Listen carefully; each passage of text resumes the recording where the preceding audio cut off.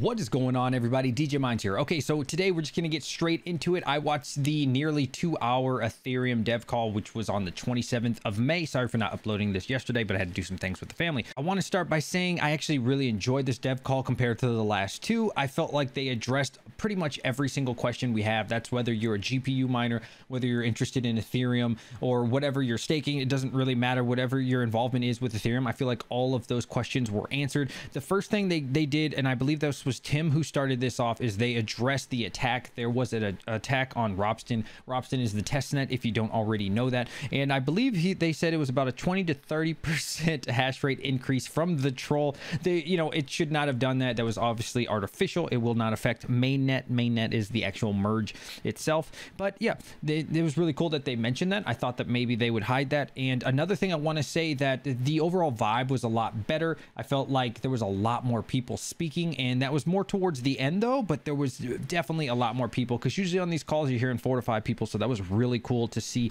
I don't know, maybe 10 to 12 people talk. Uh, money is trivial to raise the hash rate over the TTD. So again, that's from the Ropsten attack. The TTD stands for total terminal difficulty. You will hear this term a lot, not necessarily just from me, but if you ever watch any of these again, that is total terminal difficulty. Just remember that because you're going to hear it all the time. Uh, it says it could not happen on mainnet or should not happen on mainnet. So yeah, shout out to the trolls, I guess, but really it shouldn't affect anything once they go live. They also did a very good breakdown of all the test nets. So right now we're in the Ropsten stage. The next one is Gorlia, G-O-E-R-L-I. It might be Goerli. I'm not sure how to say that. And then finally Sefolia, and that's like the final test net. So it goes into these phases. They test each one. Again, we're in Ropsten. And then finally we go into the main or Bellatrix fork. That is the actual merge itself. So the uh, Ropsten, Goerli, Sefolia, and then Bellatrix fork or the merge itself. So that's just the breakdown of that. So another thing that they mentioned I found very interesting was that they can't specifically say when the merge is going to happen. They can't say like on this second, on this day,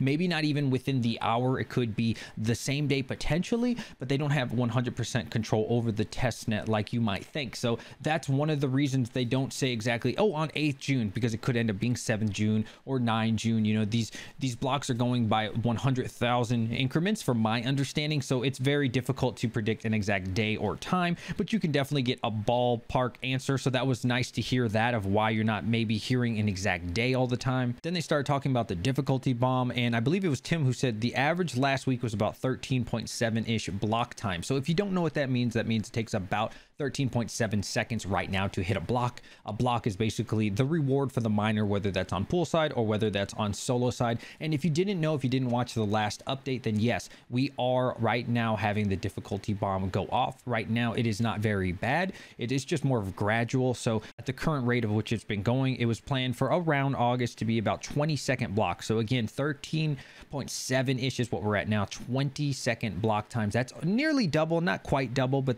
obviously that would hurt. And by the time we get to June, July, be about 16.5 seconds, maybe even 18 towards the uh, first half of July. And the second half of July, we would definitely hit 18, going to that 20 in August. So you could see the gradual thing. And then that makes that means you're going to get less and less rewards, less and less money if they stuck to this schedule. Late August, September, we should see over 20 second block times. They may or may not have to adjust that. So at this point, we were really thinking, wow, this is happening. This is sounding rough, right? Right? Like this is really, this is it, guys, for GPU miners. And then all of a sudden, I say towards like the last 45 minutes of the video, things got really interesting. I believe it was Thomas that mentioned we need a three to four month delay. And at this point, no one had even mentioned that. This is due to the difficulty bomb. Didn't want to rush it. And then Andrew backed him up, you know, talking about pressure points, and we don't need that type of pressure. And I felt like that was really cool because no one did that last week. No one did that the week prior. And then all of a sudden, I'm telling you,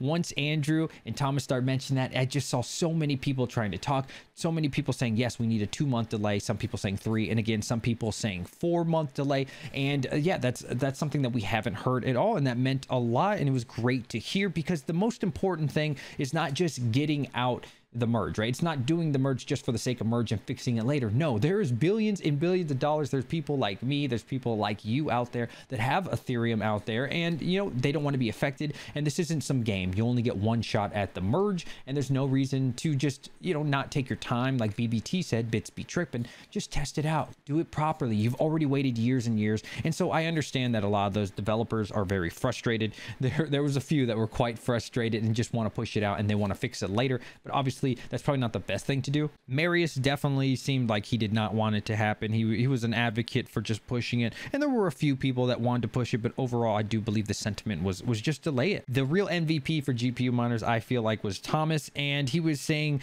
25 second blocks is what would happen by August. And it's just too much. A lot of talk about, hey, should we go over 20? And pretty much everyone said that's probably not the best idea. And again, the overall sentiment at that point was this is too much stress, you know, because right now we keep adjusting things by a two week period and it's just to push it out, right? That's kind of the sentiment of, of getting the merge. Let's just go by two weeks and then we don't want to commit to two months, four months, but it's just too much pressure. It's too much to change. I don't know the development side of exactly what they're changing, but I would imagine they have to change every two weeks because they continue to push it out more and more. So they're saying, yeah, just push it out two to four months. It'd be so much better. It's less stressful. There's less, I don't want to say paperwork, but you know, things to do. And uh, yeah, that would probably overall work better. Marius, again, the guy who's an advocate for pushing forward, said, quote, in Amsterdam, 20 second block times are not bad. And yeah, uh, obviously that didn't go too well with myself or my chat or really anybody because that's almost double, as we mentioned earlier. That does not sound good for anyone that affects the entire network and not just the crypto miners. That's something to consider. Andrew said probably the best take. I'm kind of paraphrasing here. He said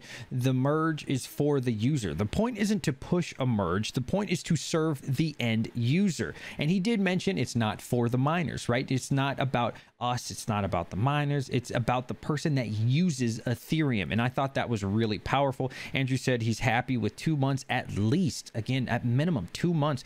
Proper testing must be taken. If we have to, let's push it three to four months. A little bit of paraphrasing there, but that meant a lot. You know, take your time. Definitely no one wants to see higher gas fees. No one wants to pay more. And think about your users. Don't just push it out and rush it. They did mention the word Paris I've been hearing that throughout the whole call. I didn't really know what that meant, and uh, neither did the developers. So that that was pretty cool to see. And uh, yeah, there was a mention of Paris that they discussed, and I didn't really understand what that was. So feel free if you know what that was. At the end of the day, they ran out of time. There was so many people, like I said, towards the last 45 minutes or so that were just going on and giving their opinion. No, we need to delay. And, and again, it just felt like almost everyone wanted to delay, but just a few people. So for the last bit, we were really left wondering, is it going to be officially delayed or not. And again, I don't think that they they're going to do that on the dev call. I could be wrong, but it sure didn't seem like that. Maybe two weeks from now, maybe even Tim Beiko. If you don't know Tim Beiko, he, he's a lead developer for Ethereum. Check him out on Twitter.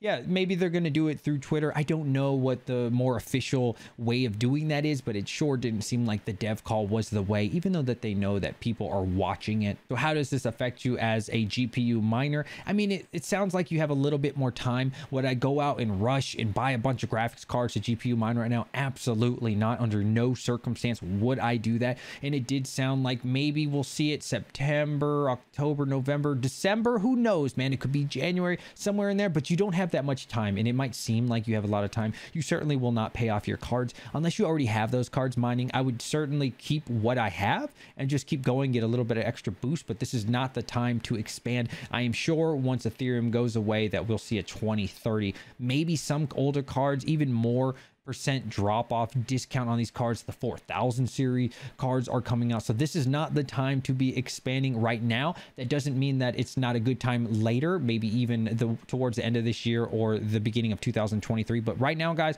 if you already have the graphics cards like i do keep mining keep doing your thing until you can't do your thing but don't go out and, and just buy. Don't build a rig like this okay? Like i'm building this thing is humongous by the way. Shout out to gpu risers. Uh, i can't wait to test that out. This thing is much bigger in real life than it might look. If you made it this far in the video, please put in hashtag ETH. ETH, hashtag ETH, or whatever your favorite altcoin is. Please do check us out on all our social media. Links in the description below for our Discord and Twitter. I'll catch you guys on the next one. DJ Mines signing out.